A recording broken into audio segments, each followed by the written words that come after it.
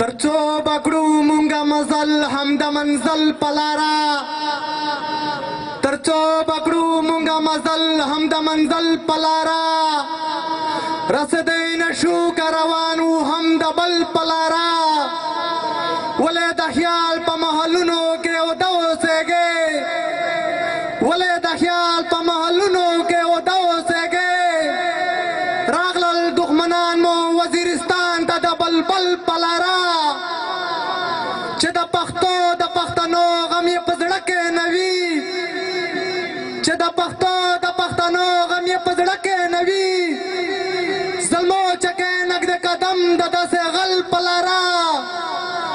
د د پښتو د نوې مینې یو احسان دی په ما د د پښتو د نوې مینې یو احسان دی په ما چې مې روانه قافله شوې د رزمک په لاره د غزنوي د د غزنوي د ابدالي د ملالي نام ته یې د غزنوي د ابدالي د ملالي نام ته یې لاسونه واچول روان د کابل په لاره چې مې احساس د سوي زړه ورسره ونه شولو چې مې احساس د سوي زړه ورسره ونه شولو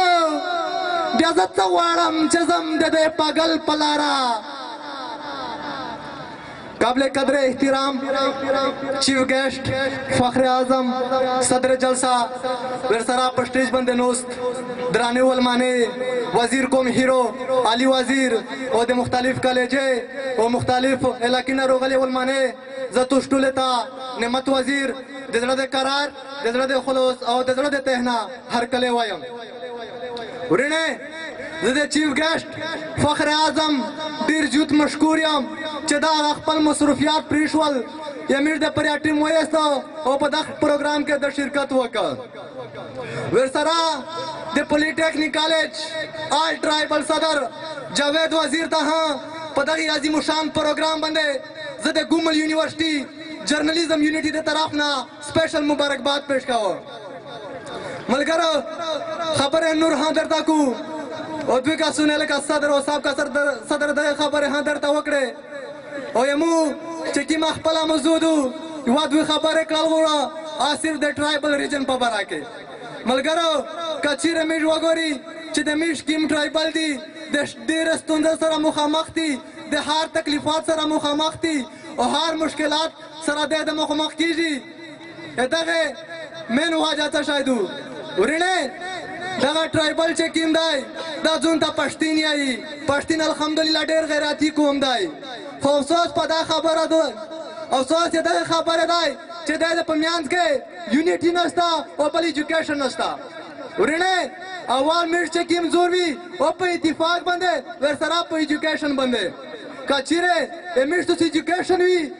او اتفاق کوی نور انشاالله زه یی چه میش ټرایبل سره انشاالله یی دنیا کیم یو حق قوم مخمخ کیدای نشی ورنه